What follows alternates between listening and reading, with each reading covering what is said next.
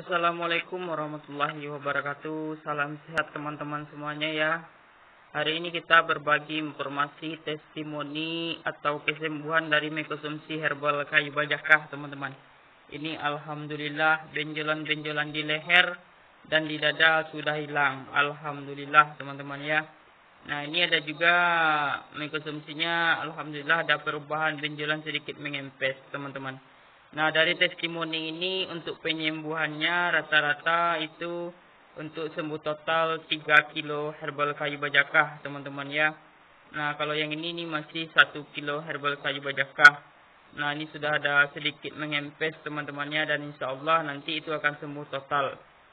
Nah, jadi bagi kawan-kawan yang ingin bertanya, saya akan uh, membahas tentang jenis-jenis kayu bajakah dengan nama latinnya teman-teman ya. Jadi tetap subscribe channel Chandra ini kawan-kawan ya. Uh, mungkin di video selanjutnya kita akan membahas kajian-kajian herbal kayu bajakah.